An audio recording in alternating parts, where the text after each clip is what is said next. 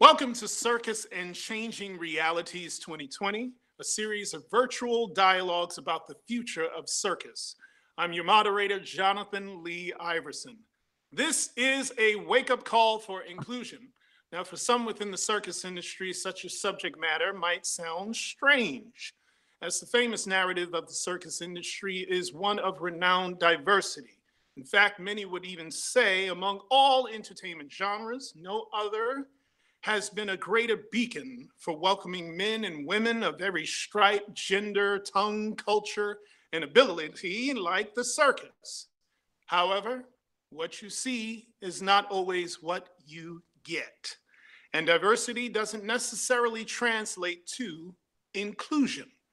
Therefore, the diversity of bodies and talents in the circus industry also boasts a diversity of unique experiences some of which might not corroborate the popular belief about life under the big top.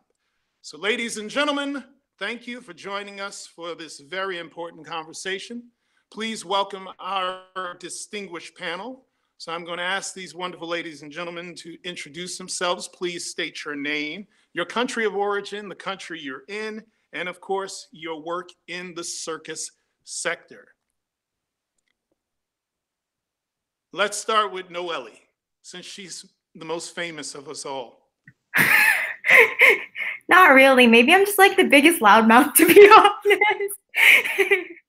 but um, hi, I'm Noelle. I am originally from California, so America, but I am now based in Montreal, Canada. Um, I am mainly an aerialist, and I've worked for companies such as Acrobatic Conundrum and Cirque du Soleil, and um, and I am a new YouTuber.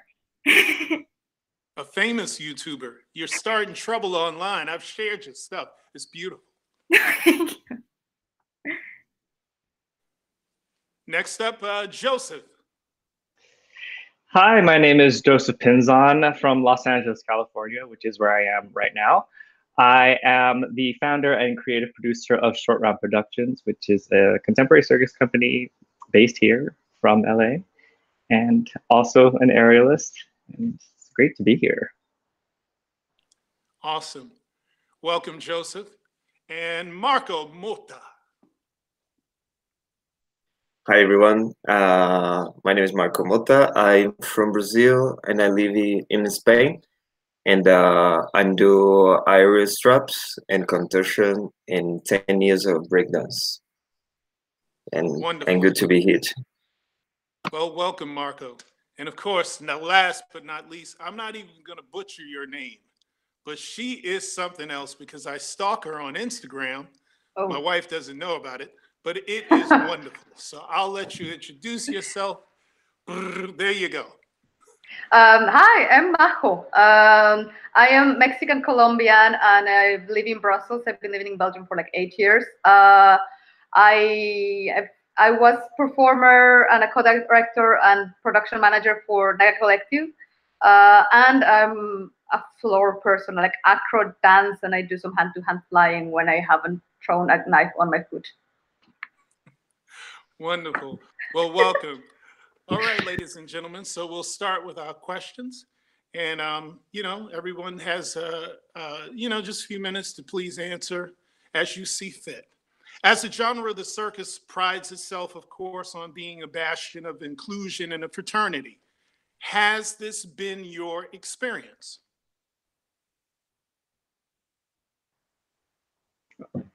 No, it has not. Um, it, it's you know I went to ENC in Montreal, and you know it's I you know when you're in that world, you're kind of just concentrated on getting through because it's so strenuous and so difficult, and you're in pain and emotionally it's taxing. But to top it all off, to look around and see that no one's like you, it it gets to you. And what what's harder is when you start voicing that and you're not being listened to because either they don't get it or they don't see that it's a big deal which is exactly why we are where we are like because of privilege. And I've had to keep my mouth shut a lot because of fear of not having employment, fear of being blacklisted by a company, or to have people in higher positions not want to work with me because of something I said because I'm seem I seem difficult. And so it, it's like a catch 22. It's like I can't win and be authentically who I would love to be in this industry that I work so hard to be in, if not harder than a lot of the people in there because of the challenges that I've had. Yet I had to keep my head down and just go with the flow. And trust me, I've said things and if they haven't been heard, it's because people weren't listening, and that's not my fault. You know, I like like everyone. We've been trying to say things for such a long time, and it's such a shame that it's taken this like this long and is attributed to events that are so tragic for us to be where we are. So, is it fair here? Maybe no, it's not. Look who's on stage. You know? So. Anyone else?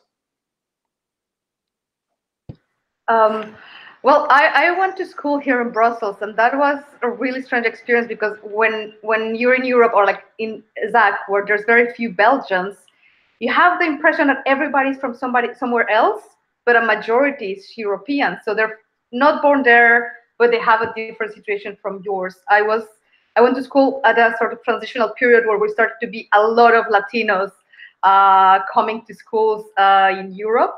Uh, actually like the ones that grew up watching you, Joe, on YouTube, like we're like, oh, there's people who do this. How cool is that? Like, I like we started in 2000, like, whoa, this is so cool. Uh, and then we started coming, you know, like you save money and you're like, okay, this is a real job. Um, but then, yeah, I mean, uh, the European Union is a very strange place where uh, there's this thing of like, oh, but racism and segregation is are an, Amer- an American things. We don't have that here. Like, it's not a thing in here, except that it really is. And uh, I'm in Brussels, which is an incredibly diverse and cosmopolitan city. You go into the streets and you see all kinds of faces, all kinds of accents and languages. And then you go to the theater and it's a completely different world. Uh, it doesn't reflect the streets. And um, yeah, my experience in circus is also that, as, as, as you said, Joseph, like uh, you have all these situations and it's hard to find people who relate to them, or also you don't want to seem problematic because also there's kind of this vibe of uh, circus is about poetry and beauty and not politics, and it's an escape for people, and you have it has to be pleasant. So you don't. It's like you have already so many things against you that you don't want to add to that by being like making people uncomfortable. So uh, it's weird. At the same time, I was I went to school with a lot of Latinos, and we did have each other's back, and we understood what it is to have to renew your visas every year, to be brown, to etc. And uh, or to yeah. So, but it's it's been weird. I don't think people spoke about it very much when I was in school eight years ago. Really, it's starting up now. That's my experience, kind. All right.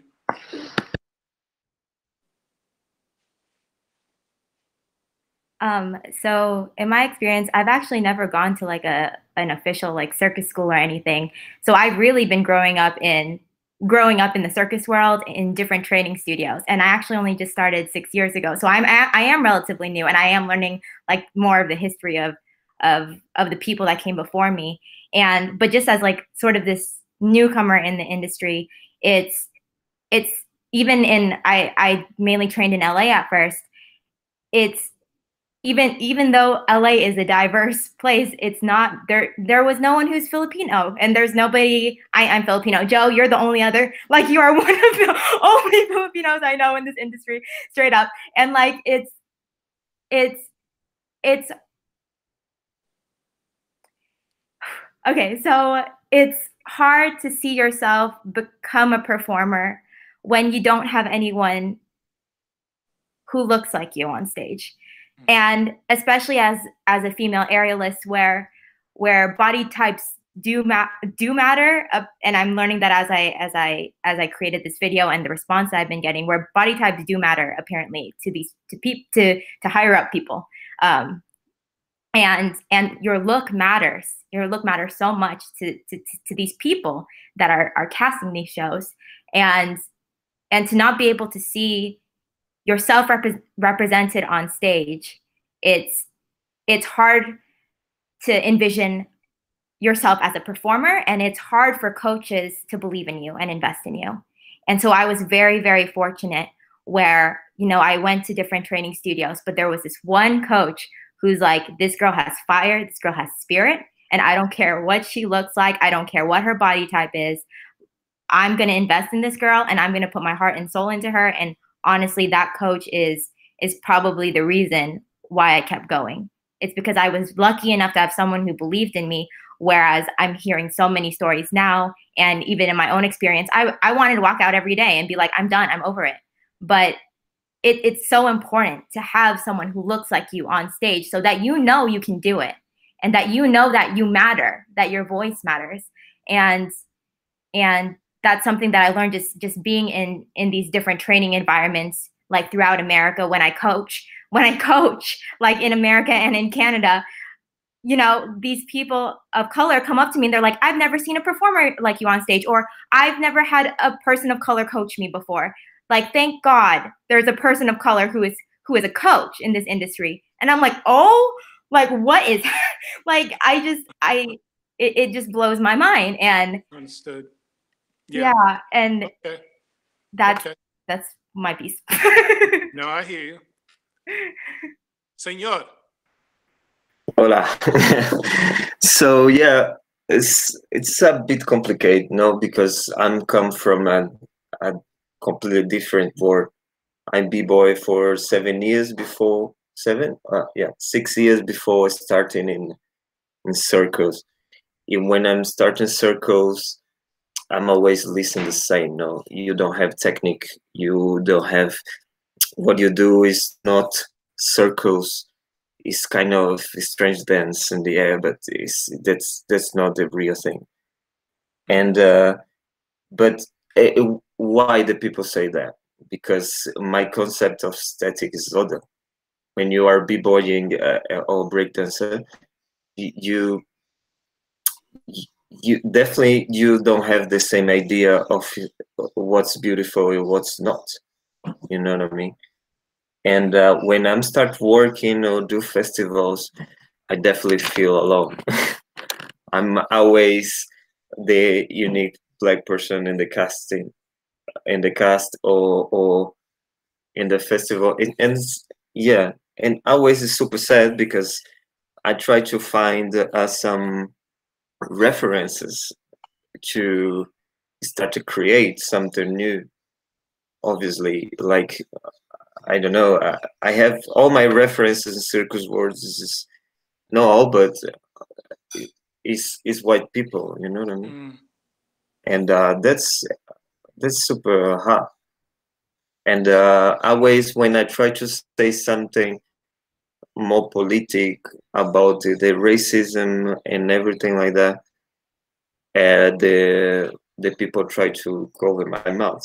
Because I always say me the same. The people come here to into to to show like something entertained i think is the word i don't know and not to to to listen you speak about the suffering of, or or stuff right. like that. So, so yeah i'm i feel that's what i feel when i'm starting circles and i'm still feeling safe This is interesting because I want to touch on what you just expressed, Marco, and what you just expressed, Noelle. There's a um, connection here. You mentioned the aesthetic, the body type.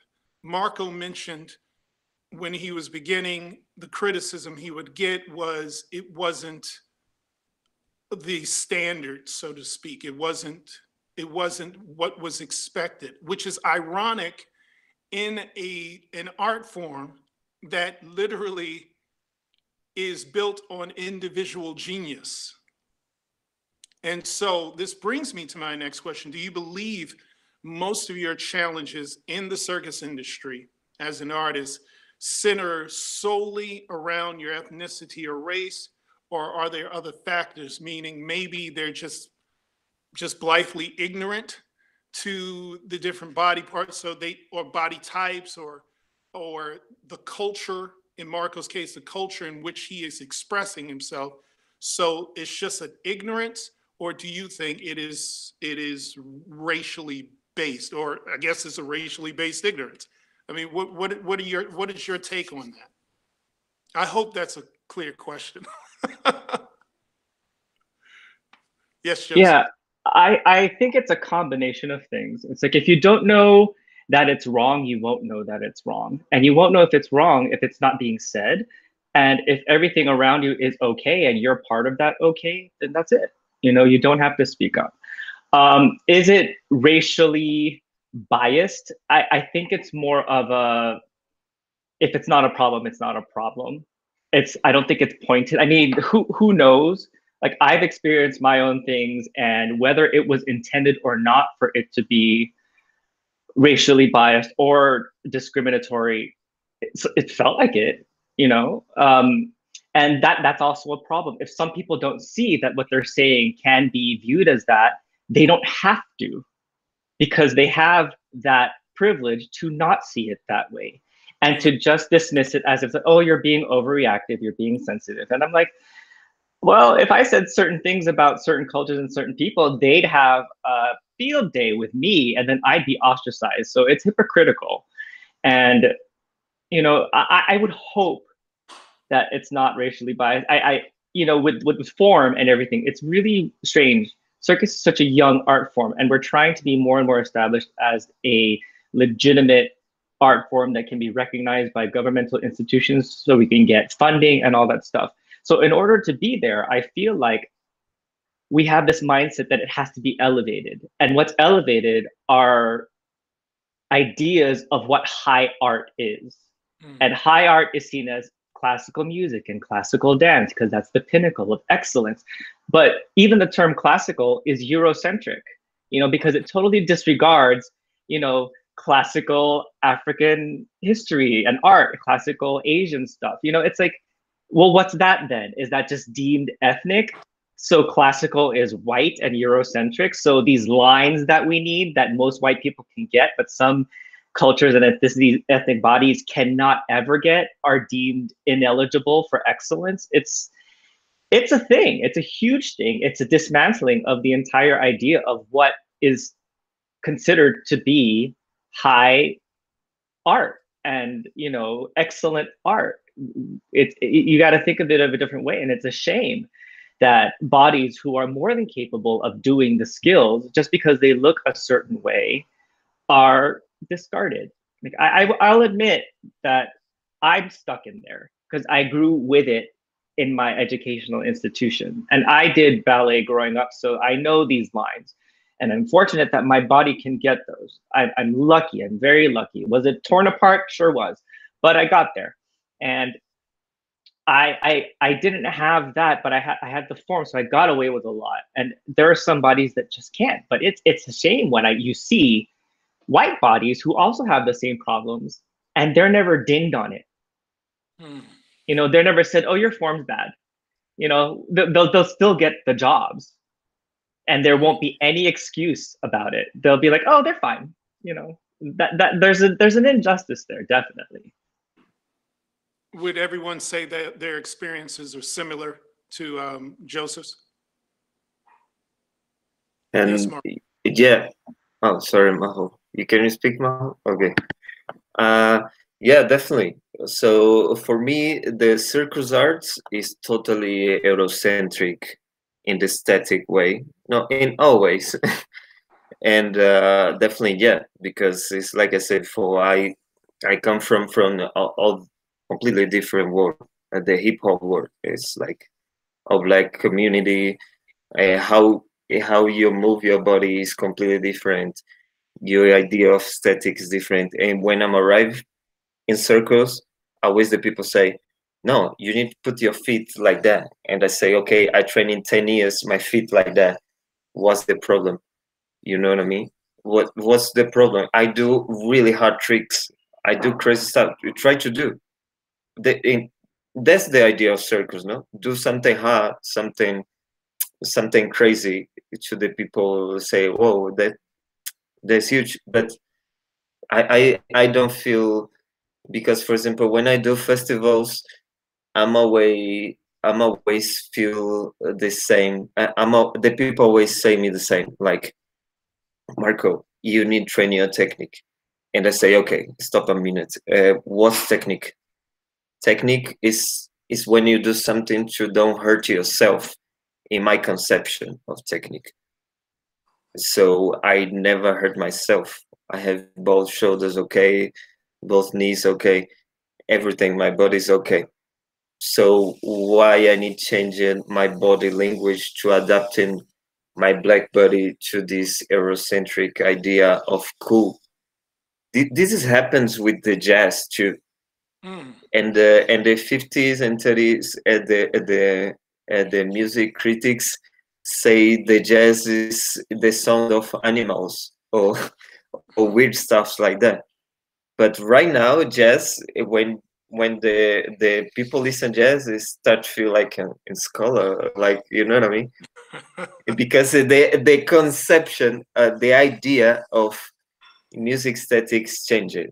And i think is we needed uh, uh, change this idea. Eh, how we can do that change we body movements. We need change of that.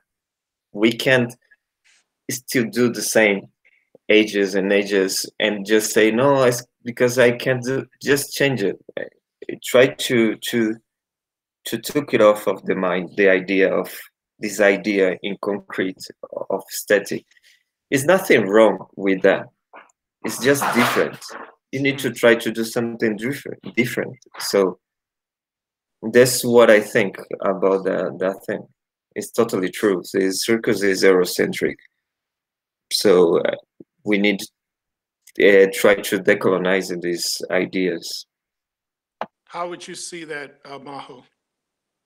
Um, so, oh, I have, I have so many notes. Uh, I mean, for me, I think it's hard to dissociate the fact that I am a person of color from the fact that I'm a woman and I'm an immigrant. So at some point, it's kind of blurry because it's like, to which degree am I treated like this because I'm brown, and to which degree because I'm a woman? When like a majority of people in power in circus are also men, etc. So like at some point, I'm like, I don't know which one comes from where. And I would say, like, I agree with Marco. Like, um, we're actually doing a project on this, but uh, I think like uh, colonization starts for me in my head. I come from a former colony. Mexico has a heritage of colonialism and colorism, and we are the first ones to uh, to grow up in a context where, like, you know, I haven't I hadn't left uh, Mexico when I already had this mindset of European is better, white is better, that's what's prettier. Like, you know, ballet is a higher form of art than folkloric dance. Uh, um, which of course comes from Europe, but uh, then you come here and you're in that this really dissociated kind of mindset. Um, and for me, so it was also strange because I have the particular experience of I, I did a French school, so I started learning French at age six. I, you know, I learned I had Spanish classes in French in Mexico, and uh, it's really bizarre. Like it's really bizarre. But so it happened that then I ended up in Belgium in like a French, the French part of Belgium, and uh, I don't have broken French. I speak really, really way too clean French sometimes, and it's really this thing of like people kind of expected me maybe to have a broken accent or to be stupid. At some point, I was working with uh, white Northern Europeans in a project, and it wouldn't be. I really felt that, for example, people expected them to be this, the brains behind the project and me being like a brown latino immigrant to just be like a funny cartoon that was like tagging along for the ride when i was doing when i was doing the majority of the work and i was writing the text and people were like oh but this like you know like they're norwegian and finnish and she's mexican like and there was this and i was like i i'm i, I wrote that you know uh, and like my colleagues were great they're smart people but I, yeah that, is just this association of like just because i come from somewhere and i look a certain way i'm assumed to be stupid. Or um, maybe in other ways also. Maybe sometimes it's very um, narrow um, but in not necessarily like a bad way i've been told also like oh but you're latino you're like passion and that's why you're so strong and passionate on stage because we come from Latin America. And I'm like, no, that's because I'm a good actress. I've worked on that. Like, what are you saying? Like, and then like there's typical thing of like uh, Latina caliente, or like I've literally had that on cabarets on stage when the MC will say like blah blah blah, Majo, she comes from Mexico, and I once entered on stage to do a, like a really conceptual ab- abstract thing, and I was welcomed on stage by the audience shouting "ay ay ay," and I did my thing, and then I just went out of stage and cried because it was just like it was really heartbreaking. Uh, but this thing of like Mexican cartoon, Latina caliente, drugs, that's often how like if I don't talk with the MC beforehand, that's maybe how I'm presented. You know, like. Uh, You said a very important word, though. You said colonization. And I did. And so I, I'm thinking in, in the span of this conversation thus far with you, you all's unique experiences, it does have that single thread of colonization. And so are we talking about colonization of, really, it, it just en- envelops everything? You know, I guess how they would interpret what an aesthetic is, how they would interpret what a Latina is or what a black man is.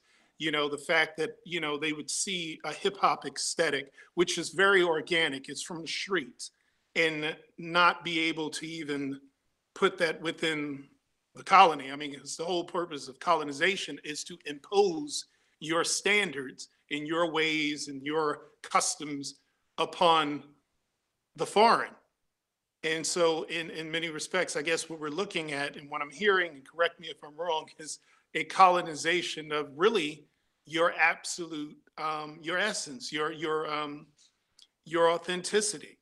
You know so you run up against this wall where you're invited into this place called circus that professes hey we welcome this hosp this diversity this inclusion but you're saying over and over again if i'm hearing everybody correct this is not the case because you're bringing your flavor and then you're telling well take this piece out of it is that is that what we're is that what we're constantly experiencing? Um, I, I don't know if they're saying take that piece out of it because sometimes they exploit it. Um, let me give you an example. Uh, so, um, and this is not to disparage any experience that I had. It's just what I felt and what I went through. So I was in a show with uh, El Waz, Cirque Éloize called Nebbia. And I was very, I loved that show. I loved being in that show. I've been very fortunate to have been a part of it, to be selected from auditions that that you know many many talented people and i'm so grateful they chose me and at a certain point in the creation process they're like joe we need you to learn kung fu and i'm like what okay why? And they're like well we, we they, there's an idea for an act and you know we want you to learn kung fu. I'm like why don't you let the other people learn kung fu? I already have to learn like four acts in the show. Why are you giving me another one? And why this you know? And they're like oh we just think it might be you know funny. And i'm like okay. So uh, we go along we go along we go along. And you know it, it ends up evolving into a comedy thing. And i'm like oh god it, because it just became so caricature you know and i and i ask people i'm like are you did you give me that because you thought i was going to be funny at it or did you give me that because i'm here and this is here?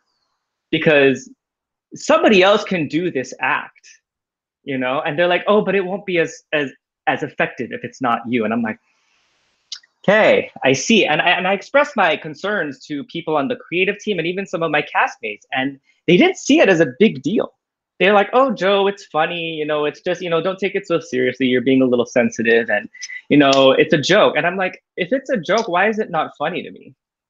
And i'm the one that has to tell this joke. Like that's not cool. And eh, you know people heard it um, but nothing happened. I, I still had to do it. And um, I love the show except that act. You know, like every time I had to put on that costume, it was a kung fu outfit. I felt like it felt like being a minstrel, to be quite honest. I'm like, Mm. oh, you're you're having a joke at like I'm not even Chinese. I'm Filipino. Like we don't do kung fu unless we like go to a school and learn. It's not part of our culture. But visually, it doesn't matter. You see this, you're gonna get this but I mean, like, and, and you know, I didn't speak up too much about it because it's the same thing I mentioned at the beginning. I just got the job. I didn't want to lose it. You know, I already had a hard enough time trying to land a job in this industry, which is a whole nother story. We have time, we'll get into that. But I did it. I did it for two years. I didn't say anything. And it hurt. It hurt to have to do that. But I mean, I will say I took the power back because I'm like, if I'm gonna do this for two years. I better at least do it in a way that I feel okay with. And I was allowed to like yell things and act like, you know, Kung Fu Master yelling and screaming. So I took it upon myself to learn phrases in various Asian languages and yell them throughout the entire act at the audience and people that were in the act. And unless you are that culture, you will have no idea what I was yelling.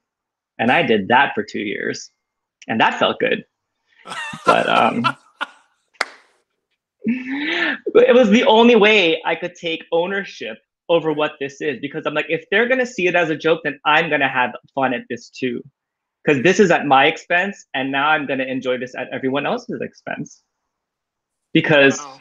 how's that for being fair? You know? No one said anything about that because any no one knew. So So that brings us to that interesting dilemma where you're stuck between, you know, I want to do what I love, I'm hungry, and I know they're using me as a puppet. I know they're not using my full humanity. They're I have to be a minstrel. So I'm I'm curious to know, have you all personally had to challenge a company's ownership or management uh, in regards to their issues with inclusion and diversity?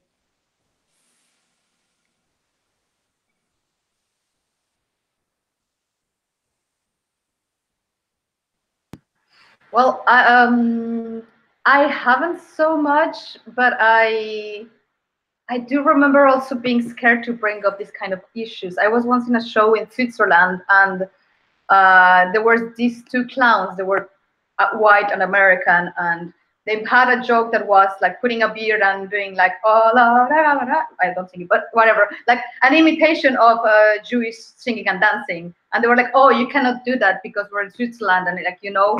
But then doing a moment where they joked uh, about uh, putting a sombrero and putting like a caracha and doing playing piñata was completely okay. And I, well, yeah, I did have that moment of like I, I did want to ask like why why is it wrong to make fun of Jewish, but we can make fun of Mexicans as much as we want? And also like I do have a particular issue with that because I've seen in the past years so many shows where the comic relief moment is somebody with a sombrero and like a caracha or playing piñata.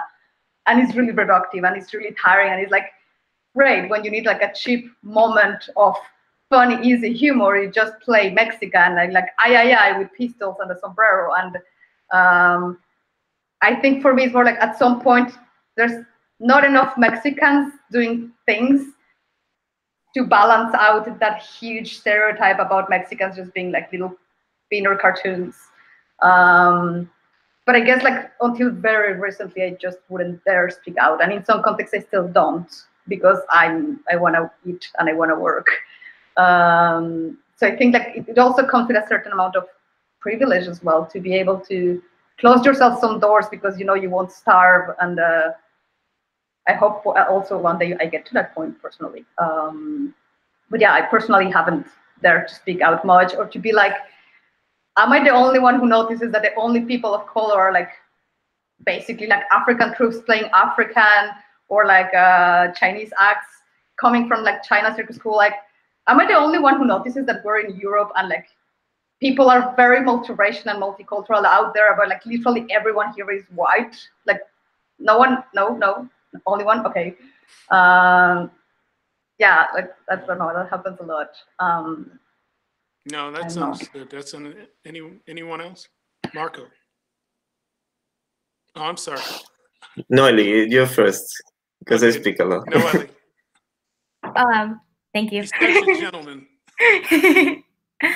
well, I made a video.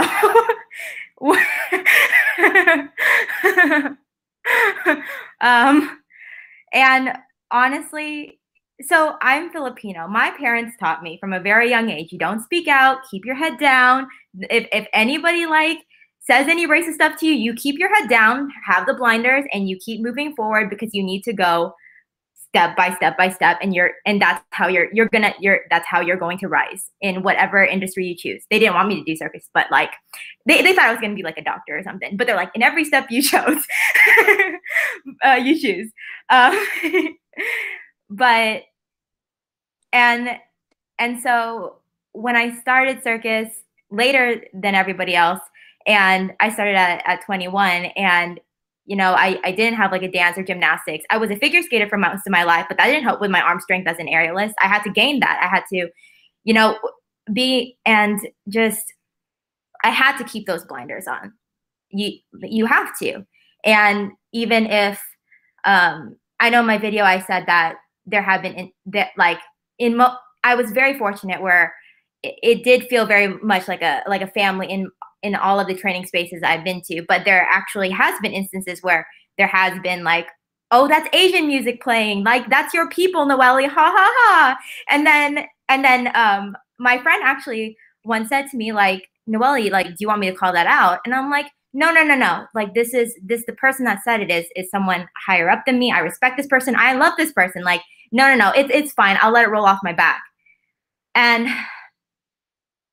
and it's instances like these where I I I've experienced stuff like that. I've seen people tokenized um, on stage for their cultures, where where you know, um, like for instance, um, like in the example I give in my own video, where in this show in this show that I I I auditioned for, um, I would later find out that the black acrobats could only play that role, and they couldn't play any other roles um, because they didn't this this director didn't like that look. And um it, it seeing it's it's and and sort of coming to montreal uh no offense montreal but just seeing these sort of different stereotypes of of aerialists like this is what an aerialist looks like. This is what a flyer looks like. This is what a base looks like.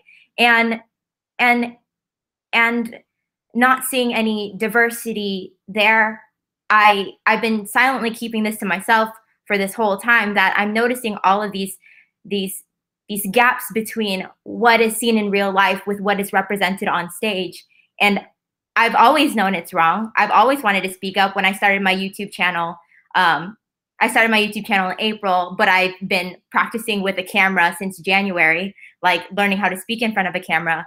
Um, ever since January, really, like I was intending to make this YouTube channel and I wanted to make this video so bad and it, it's actually one of the first videos I ever thought of um, to to really to share with the circus industry. You know that there is racism, there is is there is this look on stage that that sometimes you can't control because of your race. Um, I think that's what people don't understand, um, and and I, I wanted to make this video so bad, but I've seen it time and time again, culture being appropriated, my own experiences, people being tokenized on stage and stereotyped that that it's dismissed that racism is dismissed in this industry. And why would i speak up if it's being dismissed? And you know when when the black lives matter movement happened and i saw that people were listening people were finally listening to these stories of oppression within america and realizing that it's still there and they're like oh my gosh why haven't we seen this before i'm like whoa okay, people are listening now. And I think it's time to tell my story. But I also didn't want to take away from that movement because that movement is huge. That movement is is is is is is powerful and impactful. And I didn't want to take away from that.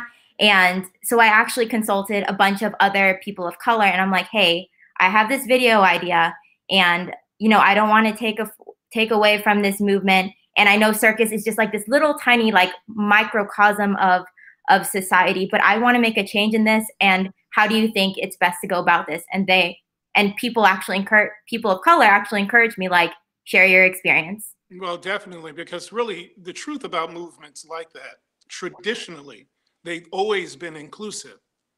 The civil rights movement was always inclusive. I mean dr martin luther king his last legacy was the poor people's march. And of course, that was a broad uh, spectrum of Americans, black, white, and otherwise. And in fact, it was mostly white people. And he was going to actually have uh, uh, Americans basically march on Washington and camp out um, right there on, on, on the, the lawn out there. And that was going to be his big legacy. And a lot of people really think his assassination it exacerbated the inevitable, which he always felt he would die in that manner because when he started hit- hitting on economics and when we hit on that, that is definitely a very inclusive um, type of thing. But it, it only makes sense that you would feel welcome to express your story because that's how all of this happens is similar to the Me Too movement. You know, one person speaks out and then others feel empowered.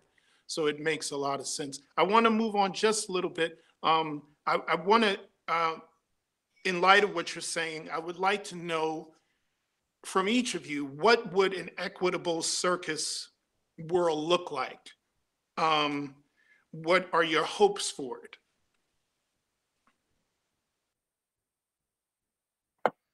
Can um, I come back to the to the other thing we speak before, uh, and and I I would like to say sorry for my English because I'm I'm pretty nervous now because this the the stereotype affected my life and that's super hard. Look the in my first working uh the director put me with uh two women on the in my acting uh on the floor acting contortion on the floor uh, two women in my back half naked uh with samba music and i do my contortion stuff and well, it's super weird super weird show. In my second working I do a kind of slavery with chains and aerial chains and stuff like that, and super aggressive character. Like uh, I'm screaming on the stage and I do like ah, I don't know, but it's super weird too. And always I do the same kind of uh, uh, characters, like or uh, over or hyper aggressive person or hyper sexualized because I'm always in our shows. I'm or half naked, or uh, not completely, but I just underwear or stuffs like that. Why I say this kind of stuff affect my life? Because, for example, when I meet some girl uh, to have a relationship, uh, um, the kind of things really affect my relation because that girl can trust in a black person because uh, always in the media or in shows or whatever uh, the people say the black people or, or the black men's have uh, need a lot of sex with a lot of people and are always naked and savage you know and dangerous and whatever.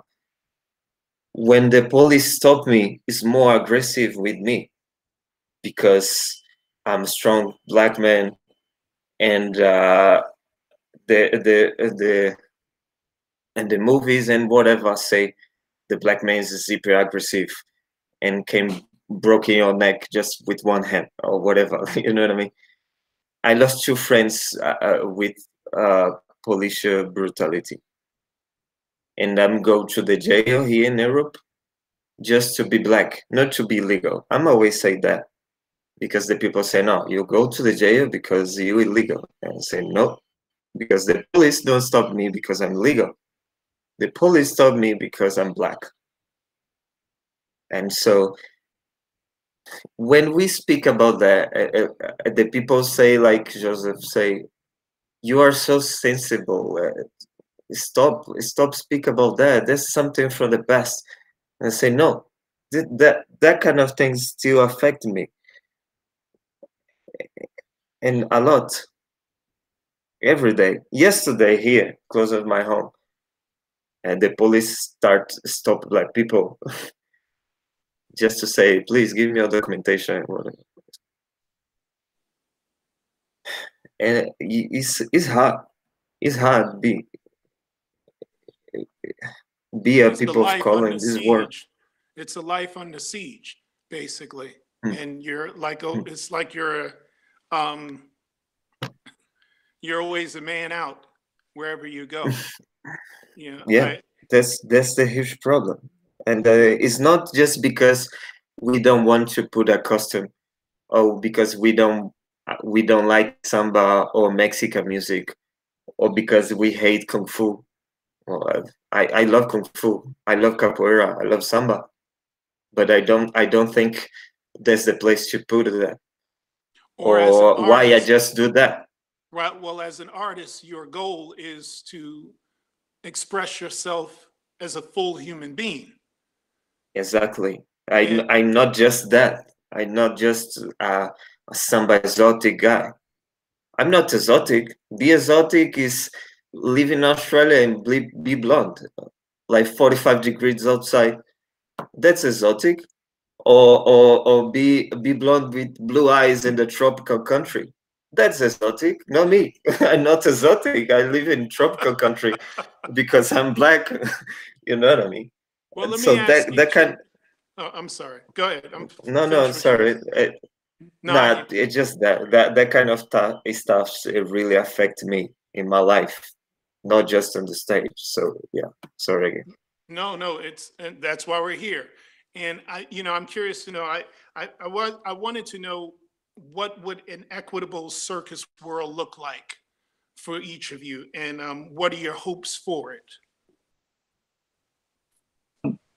you know, I, it's very odd trying to answer this question because I own a circus.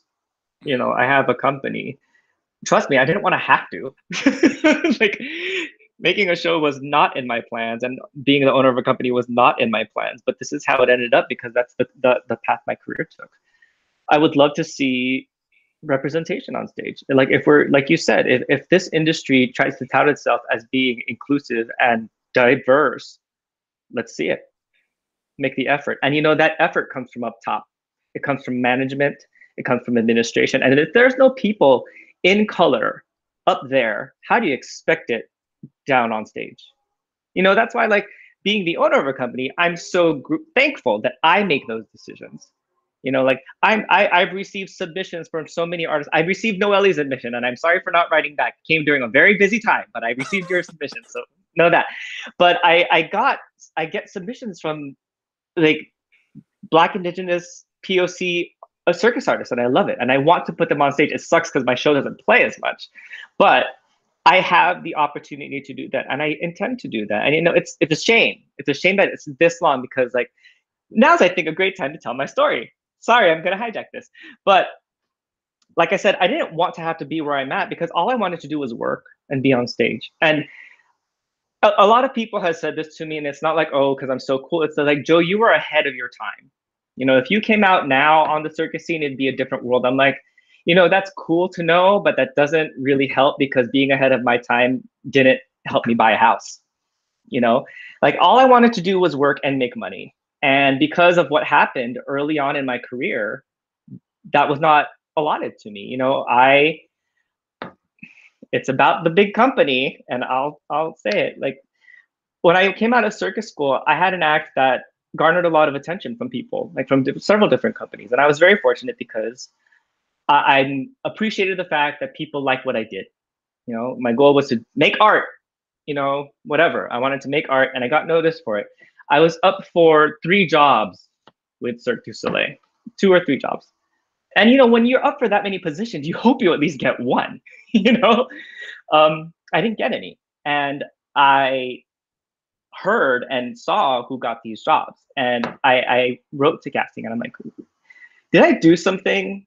You know, did I do or say something because I thought you guys were wanted this. You know, you guys tell me these things and you talk to me like, what happened? And they, they're like, come over. Like, so I, I went over. Like, we we set up a meeting and I went to a meeting room and this person in casting said, Joe, we love you. You know, like you're the best in the world. You're at the top of our list.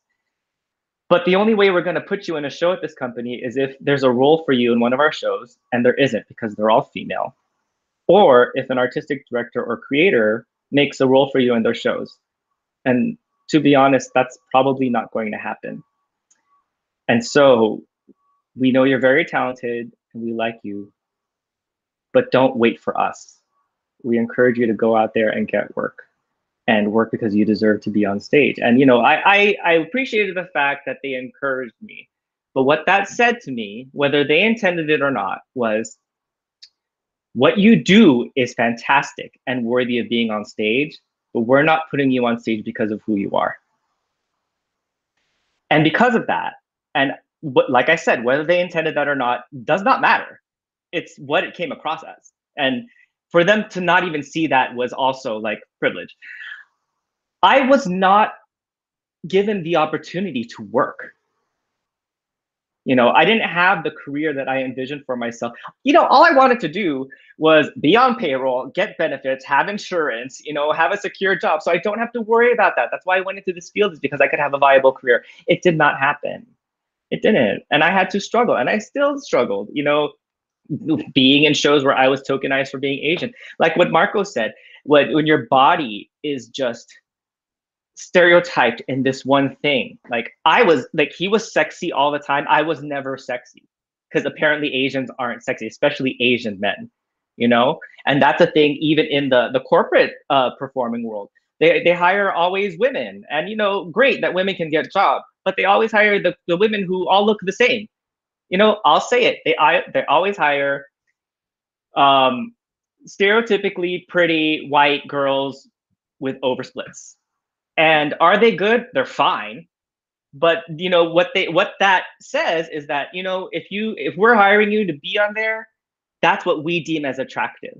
And what that is what we deem as desirable. And it's a marketing thing. And I'm like, so you're saying that you get to decide what's beautiful?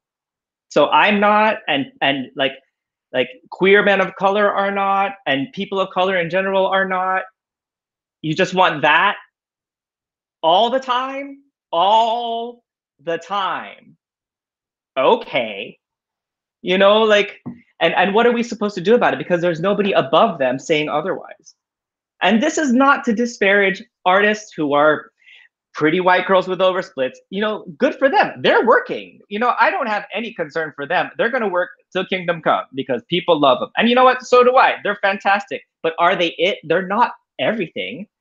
There are so many artists of different sizes and colors and ethnicities and cultures that are beautiful, but just not deemed mainstream beautiful because mainstream is white. Mainstream is what the majority is, and the majority is white. Like these are difficult things to say because guess what? I might even get ostracized for saying this now by my friends and by my community, community, by my circus community. You know, like if it's a community, why are we not looking out for each other? Like, let's call it what it is. If you really had our best interests in mind, the people in this room, if you're looking out for us, let us know, because we're not hearing.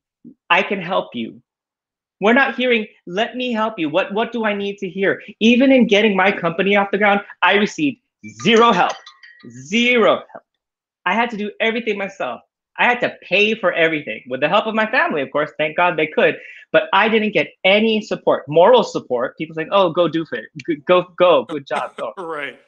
I'm like, yeah, but I gotta pay for like insurance and. Well, speaking of that, speaking of that, Joseph, um, what does allyship look like to you? What does allyship look like for you all? I, I'll since I have the floor, I'll just say it and then I'll shut up for a while. I need people who don't look like us to speak up for us because we're tired. We are exhausted of trying to get this message out over and over and over and people not hearing us. Like I'm so tired. You know, like I I, I see people, you know, quarantine, it, it, messed a lot of things up. It, it pretty much destroyed our industry.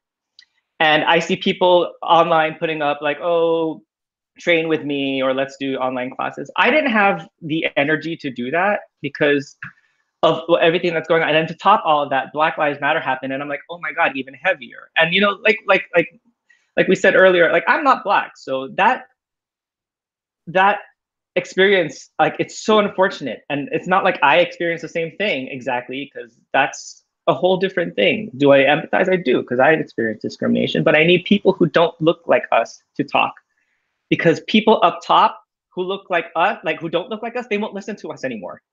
Mm. They won't. Like it's taken this long for them to open up their ears to, to, to see people die, to be like, okay, now we'll listen to people of color. It's too late. You know, like white people need to do the job because we've been trying to do it and the white people up top don't hear us and they don't want to. And they probably still don't. You know, like circus is in the gutter right now, and it's a shame because we love this art form, and it's it's pretty much decimated because of economics. We have the opportunity to rebuild it.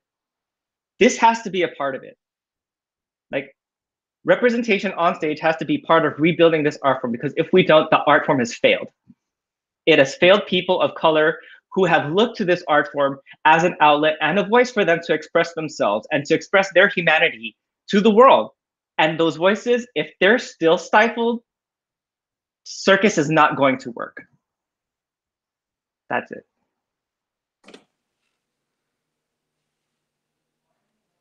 Anyone else? Yeah, um, for me, like, um, I agree that we, it's exhausting. Like, I, and even now, like the Black, Black Lives Matter uh, movement, people are like being interested in the thing, but it's still kind of untitled. It's like, hey, like the other day, somebody like, she's a good person. If you're watching this, you're a good person, but uh, you have internet. You don't need to ask me who I'm exhausted. Oh, but like like why isn't reverse racism a thing and like because of systems of power and like this you can google you're smart you have the internet just google it's like oh but like you can discriminate against white people and like you can have bias against white people but the system doesn't systematically oppress white people. It's not the same.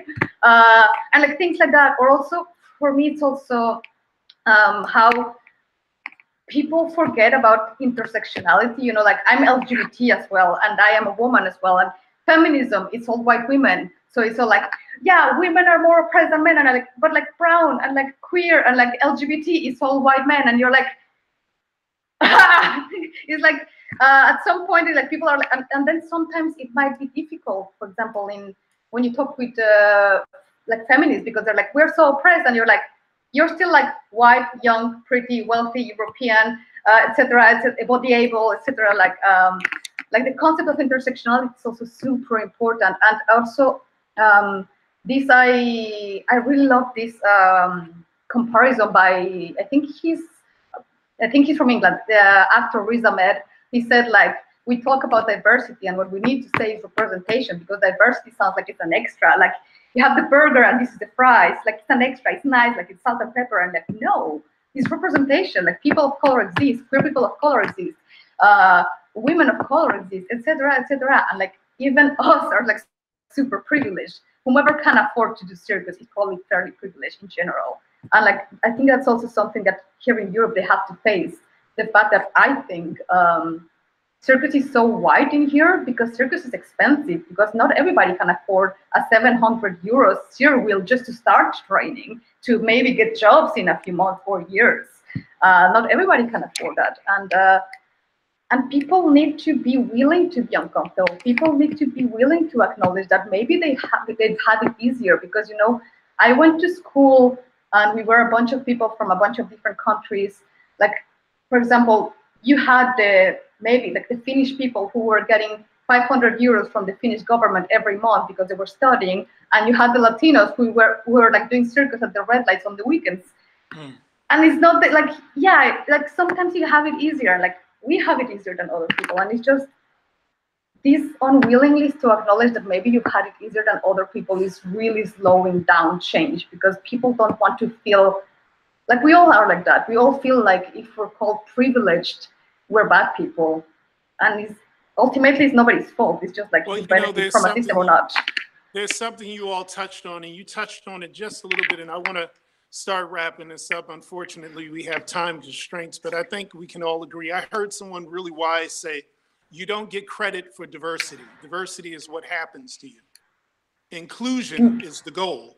And so in listening to each and every, each person's own reality, I think just in this conversation, as short as it is, because we're not going to solve that problem, but it's just so gratifying hearing each person's real story and how they think and how real it is because I think the industry just has to understand that you know you don't get credit for diversity you, you don't that's what happens to you i think you know we we boast about that in the circus industry but we don't realize a lot of that diversity has everything to do with well what was necessary not necessarily inclusion and i always judge inclusion based on, well, who's running it? Who's making certain decisions?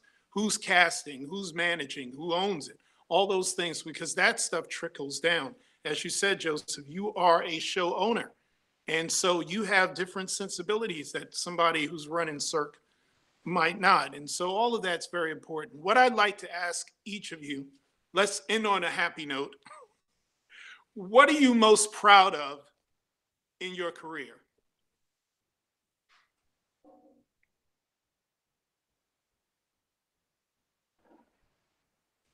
Yes, Noelle.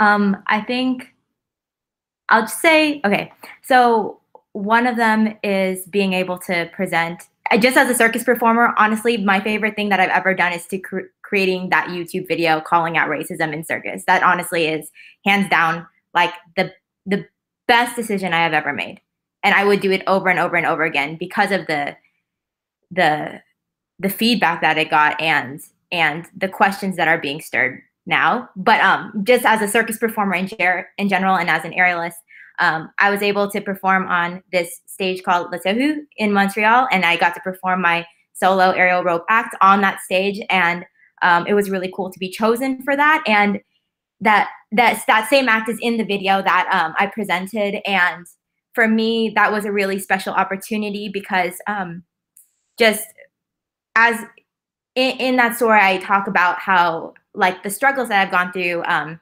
to to become a circus performer, especially starting late and disappointing my family, and and the whole looks thing that we've been we've touched upon, and and I did my act, and throughout the act, y- you just know when an audience is with you and when they understand you, and and when I took my bow, um, just like all, all the people that were just like standing up and like and just and and clapping and and ju- and like I knew like I knew that they understood and I was able to do like a question and answer and I was able to say in front of all of them what I hope for circus is that every audience member feels represented on stage and that's all that I want is that every walk of life is on stage. And so that made me me the most proud because everyone roared in the audience because they want it too and it's not just us as performers who want jobs it's the audience that wants it too and that's the proudest moment because that was the moment I realized I'm not the only one. Marco? Yeah, mm, I'm proud from my all my career, from the beginning to now, because I do all by myself. I'm start literally on the street. I'm I'm still training on the street. I every single week I go to dance break dance with my friends and enjoy of my community. And uh, no one helps me in the in the way of oh okay I'm a huge director and I'm contract to you now. No one. I do the Cirque de and I just train straps for year and a half or two years. When I uh, arrive in the stage, I'm competing with people training in Montreal or ESAC or whatever, training three years with teacher and coach and every single one. And I never, I never have a coach. I have my friends and just say to me, "Hey, do that like that," and and leave it. You know what I mean? It's not a real coach. And uh, and I create the concept of my acting by myself. I I choose the music. My friend saying, "Oh, bro, don't put this music because it's too intense." So I using the Strange Fruit from Billie Holiday to do my acting, to speak about my history. So I have the opportunity to be voice, and I using this opportunity to do something uh, important for me. I don't know to the other persons. For me, it's really important to speak about the racism and the world in general. And uh, I'm always, if you give me voice, I'm speak about this problem because th- that's the actual problem. So it, that's, yeah, I feel real great with my career.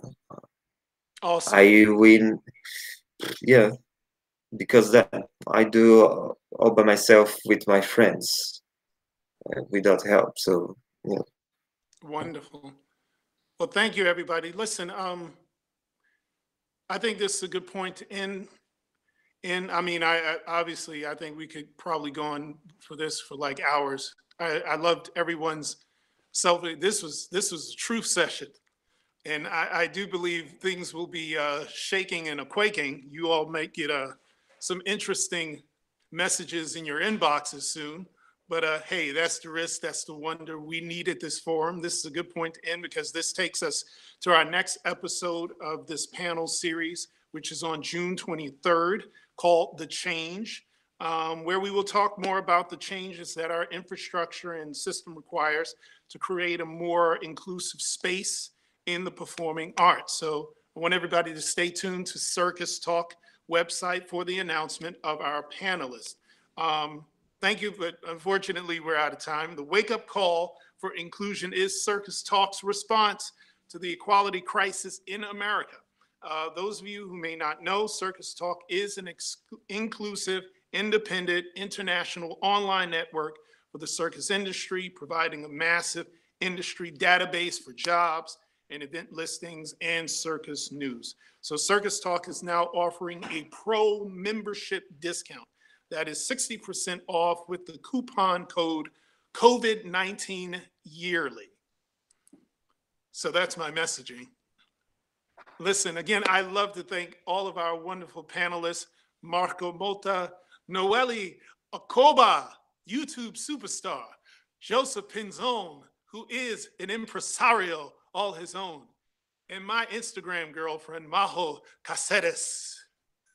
I'm your moderator, Johnathan Lee Iverson. It has been such a pleasure to speak with all of these fantastic artists.